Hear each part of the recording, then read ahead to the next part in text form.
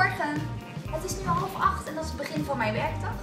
Ehm, Om acht uur komt de eerste patiënt binnen, dus het is tijd om de kamer eh, gereed te maken.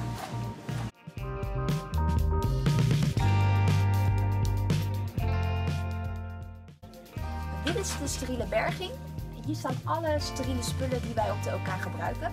En gedurende de opleiding leer je eigenlijk wat er allemaal in de netten zit.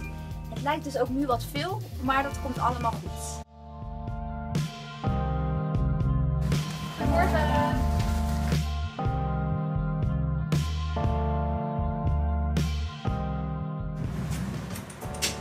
Nou, de patiënt ligt nu op de kamer en we hebben net de time-out gedaan. Mijn collega Suzanne die heeft de spullen opengelegd, zodat ik kan ontdekken. Als operatieassistent heb je twee rollen die je vervult.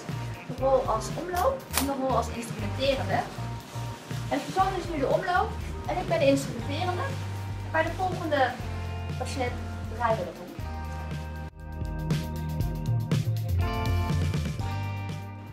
Voor deze operatie gebruiken we een basisnet. Maar het kan eigenlijk net zo goed zijn dat we voor een operatie wel 10 van dit soort netten gebruiken. Nou, ik ben klaar voor deze operatie, dus ik ga naar binnen.